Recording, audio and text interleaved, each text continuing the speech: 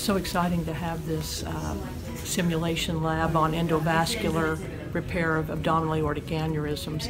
It used to be that when a patient had an abdominal aortic aneurysm, they would need to go to the operating room and have a large incision that started just below their breastbone and went down to their pubic bone.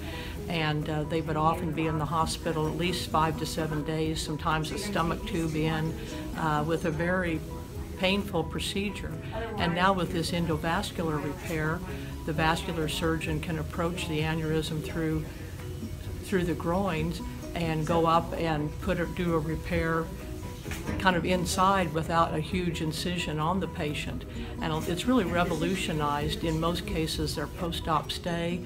Uh, a lot of times in just a one to two days they'll be going home. And so it's really great for our surgery residents to have the opportunity to do simulation and go through this procedure before being in the operating room. And so it's very exciting because not only have the patients benefited, but the surgery residents benefit from having this hands-on experience prior to being in the operating room.